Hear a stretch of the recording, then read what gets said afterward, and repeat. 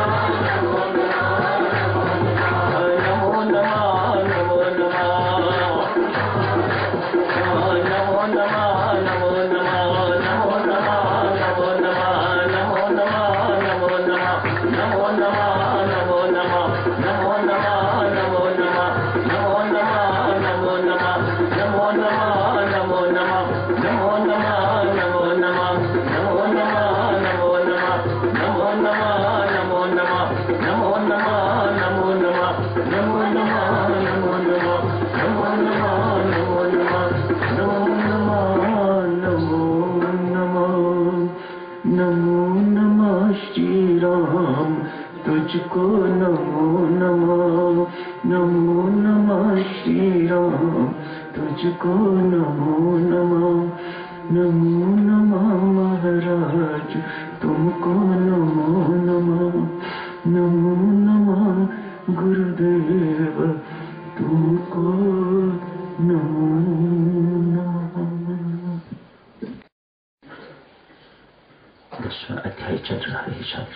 विभूति योग नामक दसवां अध्याय कल चर्चा शुरू हो रही थी बुद्धि योग पर जो मेरा नित्य निरंतर स्मरण करता हुआ भजन करता हुआ प्रीति पूर्वक भजन करता है उसे मैं बुद्धि योग देता हूँ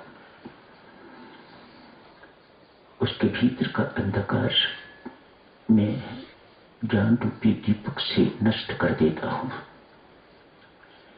एकल दसवीं और ग्यारहवीं श्लोक भी भगवान श्री ने घोषणा की थी आज बुद्धि योग पर चर्चा शुरू करते हैं भक्तजनों भजन क्या है ये जो भजन हम गाते सुनते हैं इनको भजन यह नहीं कहा जाता भगवान किसको भजन कहते हैं जब मुख से राम नाम निकले भगवान का गुणगान हो कानों से भगवान की कथा का श्रवण हो या उनके गुणों का श्रवण हो, कीर्तन का श्रवण हो, कथा का श्रवण हो, इन हाथों से परमात्मा के साकार रूप की सेवा हो ये सारा संसार परमात्मा का साकार रूप है। इन सबकी इन हाथों से सेवा हो। पाँव सदा सन्मार्ग पर रहें। गर्दन हमेशा इसमें अहंकार भरा हुआ है। ये परमात्मा के श्री चरणों में, परमात्मा के बंदों के आगे झुकी रहे ताकि अहंकार खत्म हो। ये आँखें केवल मंदिर में ही तेरी मूर्ति न दिखे। सारा संसार इन्हें राम में दिखाई दे तो इसे भजन कहा जाता है। भगवान श्री कहते हैं, प्रीतिपूर्वक यदि कोई मेरा इस प्रकार से भजन करता है तो मैं उसे बुद्धि योग देता हूँ। ऐसी बुद्धि उसकी बना देता हूँ, ऐसी बुद्धि उसे प्रदान करता हूँ जो संसार में रहने वाली नहीं I don't make them worldly wise मैं उन्हें संसारिक बुद्धि नहीं देता, उसे हटा के तो उसे परमार्थिक बुद्धि दे देता हूँ। वह बुद्धि जो परमात्मा से योग करवाए, उसे बुद्धि योग कहा जाता है। ये बुद्धि अब इतनी प्रकाशित हो जाती है, इतनी आलोकित हो जाती है, सात्विक हो जाती है। सूक्ष्म हो जाती है, दिव्य हो जाती है कि ये बुद्धि आपको परमात्मा के साथ जोड़ने में सक्षम हो जाती है। दोनों की ज़रूरत है भक्तों संसारिक बुद्धि की भी ज़रूरत है। बहुधा रहना तो संसार में ही होता है। लेकिन हमें अंतर पता होना चाहिए कि संसारिक बुद्धि क्या है और अलौकिक बुद्धि विवेक युक्त बुद्धि क्या है। मन। विवेक युक्त बुद्धि वह बुद्धि है, जो आपको ये बताएगी क्या करने योग्य है, क्या करने योग्य नहीं है। क्या खाने योग्य है, क्या खाने योग्य नहीं है। क्या पीने योग्य है, क्या पीने योग्य नहीं है। पाप क्या है? पुण्य क्या है? मुझे कहाँ तक इस संसार में रहते हुए, कहाँ तक इस संसार में धसना है? जो बुद्धि ये सब कुछ स्पष्ट करे, उसे विवेक युक्त बुद्धि कहा जाता है। ऐसी बुद्धि परमात्मा से योग करने में सक्षम हो जाती है। ऐसे साधकों को जो प्रीतिपूर्वक मेरा भजन करते हैं, उनको मैं ऐसी बुद्धि प्रदान करता स्वामी जी महाराज ने बुद्धि योग ब्रैकेट में लिखा है, कर्मयोग, निष्काम कर्मयोग, जो कर्म योग करने के लिए, मानो ऐसे कर्म करने के लिए बुद्धि प्रेरित करे, जिससे हम परमात्मा से जुड़ सके, उसे कर्मयोग कहा जाता है। जो बुद्धि कर्मयोग करने की, निष्काम कर्म करने की, यज्ञ अर्थ कर्म करने की प्रेरणा दी, उसे बुद्धि योग कहा जाता है। सामान्य बुद्धि क्या है? संसारिक वर्ल्डली वाइज आज एक राजा ने घोषणा की है। कोई ऐसा उपाय किया जाए जिससे मुझे ये सारे का सारा संसार, सारे का सारा ब्रह्मांड, सागर, व्यास नदी, ये पर्वत, ये पेड़, ये बंदे, पशु, पक्षी इत्यादि सब हरे ही हरे मुझे दिखाई दे। घोषणा कर दी जो ऐसा कर देगा, उसे एक लाख रुपया इनाम मिलेगा। उन दिनों एक लाख की न जाने कितनी कीमत होती होगी। अतएव सब अपनी अपनी बुद्धि का प्रयोग कर रहे हैं। चिंतन शुरू हो गया। राजा साहब से एक लाख रुपया मिलने की उम्मीद है। सिर्फ़ इतना सा काम कि राजा साहब को सब कुछ हरा ही हरा दिखाई दे। बहुत दिनों तक कोई व्यक्ति आया नहीं दरबार में। आज एक युवक दरबार में आया है। आके कहा, राजा साहब, मैं जो आप चाहते हैं ऐसा कर दूँगा। ऐसा आपके साथ हो जाएगा। पर एक लाख रुपया मुझे पहले दे दीजिएगा। राजा ने कहा, ठीक है, मैं तुम्हें एक लाख रुपया पहले दे देता हूँ। लेकिन एक शर्त है। यदि ऐसा ना हुआ जैसा मैं चाह रहा हूँ तो तेरी गर्दन काट दी जाएगी। तो युवक ने कहा, राजा साहब, मुझे मंजूर है। एक लाख रुपया ले लिया। बाज़ार गया है। बाज़ार जाके तुम थोड़े से पैसे की एक हरी ऐनक खरीद ली है। राजा को पहना दी है। राजा को सब कुछ हरा ही हरा दिखाई देने लग गया है। ये सामान्य बुद्धि है, ये संसारिक बुद्धि है। इसे इंटेलेक्चुअल तो आप कह सकते हो वाइज तो कह सकते हो, लेकिन ये बुद्धि योग नहीं है। बुद्धि योग तो अलुक वही है ना। जिसकी बुद्धि अलौकित हो जाए, प्रकाशित हो जाए, जो परमात्मा की ओर मोड़ने लगे, उसके साथ योग करने की प्रेरणा देने वाली बुद्धि बुद्धि योग कहलाती। ये बुद्धि कैसी है? ये एक छोटी सी उदाहरण आपकी सेवा में दी है। आगे बढ़ते हैं। ये बुद्धि योग की एक एक दृष्टांत के माध्यम से। वह बुद्धि जो हमें निष्काम कर्म करने की प्रेरणा दे, वह बुद्धि योग आज एक गरीब ब्राह्मणी विधवा का पुत्र। गरीब भी है, विधवा भी है। आग्रह कर रहा है, ये पुत्र अपनी माँ से बार बार कहता है, माँ, मुझे राजा साहब से मिलना है। जितनी बार भी ये माँ को ये कहता है, माँ उसे निरुत्साहित करती है, बेटा, हम गरीब आदमी हैं, छोटे आदमी हैं। हमारी कोई जान पहचान भी नहीं, कोई पहुँच भी ऐसी नहीं, जिनके माध्यम से हम राजा साहब को अप्रोच करें और तू उनसे मिल सके। लेकिन ये पुत्र किसी भी कीमत पर मानने को तैयार नहीं। बहुत आग्रह कर रहा है, कुछ भी हो माँ, मुझे राजा साहब से मिलना ही है। ठीक है बेटा, मैं तुम्हें एक युक्ति बताती हूँ। राजा साहब का महल तैयार हो रहा है।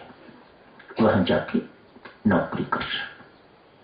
लेकिन कुछ लेना नहीं। कोई वेतन नहीं लेना।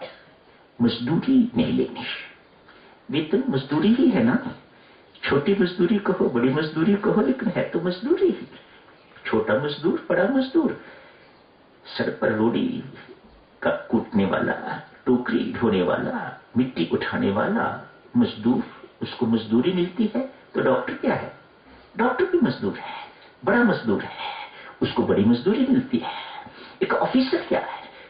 भी मजदूर है, बड़ा मजदूर है, उसे बड़ी मजदूरी मिलती है।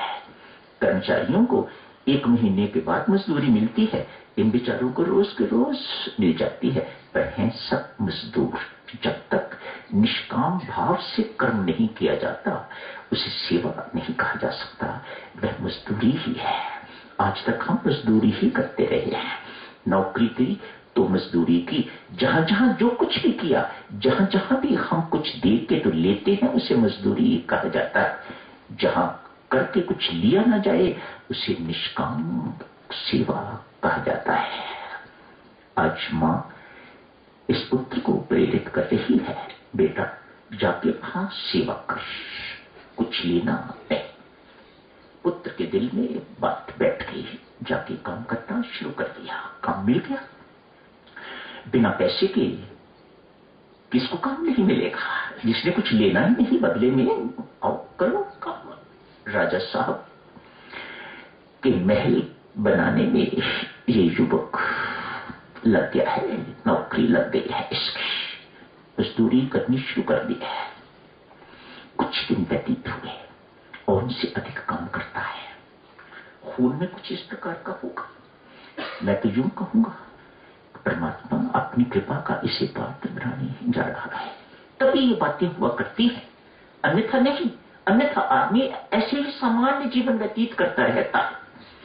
जब परमेश्वर की कृपा होती है, परमेश्वर की प्रेरणा होती है, जब वह परमात्मा कृपा करना चाहता है किसी के ऊपर तो हमारे पाँव सत्संग की ओर मुड़ते हैं, संतों की ओर मुड़ते हैं, परमात्मा की ओर मुड़ते हैं, ऐसे नहीं होते हैं। आज इस बालिक, इस युवक को अधिक काम करने की प्रेरणा बिना कुछ लिए, अतएव मंत्री इत्यादि इसे देख के बहुत प्रभावित हुए हैं। कहा राजा साहब, एक युवक आया हुआ है। बहुत काम करता है। ईमानदारी से काम करता है, तत्परता से काम करता है, लगन से काम कर रहा है, लेकिन कुछ ले नहीं रहा। खाना खा के आता है घर से, घर जाके खाना खाता है। यहाँ से कुछ नहीं लेता। राजा साहब ने ये बात सुनी। मन में इच्छा जागृत हुई। ऐसे युवक को देखना चाहिए। उसे बुलाया गया है। राजा रानी दोनों बैठे हैं। युवक को देखा। बड़ी मीठी वाणी है, बड़ी कोमल वाणी है। शरीर बहुत अच्छा सडाउल कोमल शरीर है, सुंदर शरीर है। सब कुछ देख के राजा बहुत प्रभावित हुए, ऐसा लगा जैसे कोई अपना है। बड़ी बड़ा चिर परिचित। कोई इससे जान पहचान कोई नई नहीं है, बड़ी पुरानी जान पहचान है, इससे पुराना परिचय है, इसके साथ अतएव मंत्रियों को कहा आज से युवक, ये हम दोनों की निजी सेवा पर नियुक्त किया जाता है। भक्तजनों, निष्काम भाव से कर्म जब किया जाता है, जिसमें स्वार्थ नहीं होता, निष्काम अर्थात जिसमें अपने सुख, अपनी सुविधा की चाह नहीं होती, साधारण शब्दों में, निष्कामता क्या है? जहाँ अपने सुख की, अपनी सुविधा की कोई चाह नहीं है, वह निष्काम। जहाँ ऐसी भावना हुआ करती है, ऐसा कुछ हुआ करता है, परमेश्वर की कृपा से भीतर की सारी सोई हुई सुप्त शक्तियाँ जागृत होती है। भीतर बहुत कुछ है, परमात्मा ने दिया हुआ, लेकिन सोया पड़ा है। किसी को जगाना नहीं आता, किसी को उनसे काम लेना नहीं आता। जब व्यक्ति इस प्रकार से समाज में संसार में प्रवेश करता है, सेवा के क्षेत्र में प्रवेश करता है तो उसकी सारी की सारी सुप्त शक्तियाँ जागृत हो जाती हैं। लेकिन इसके विपरीत यदि स्वार्थ से कर्म करता है, कुछ मन में कामना रख के, मनोकामना रख के कर्म करता है तो ये सारी की सारी शक्तियाँ सोई पड़ी रहती हैं, बल्कि संत महात्मा कहते हैं, कुंठित हो जाती हैं और बिगड़ती हैं ये और नकारी हो जाती हैं। किसी काम करने योग्य नहीं रह करती। तो चलो, अभी तो समय हो गया है, यही समाप्त करने की इजाज़त दीजिएगा। परसों इस चर्चा को और आगे जारी रखेंगे। धन्यवाद। नमः श्री राम, तुझको नमः नमो।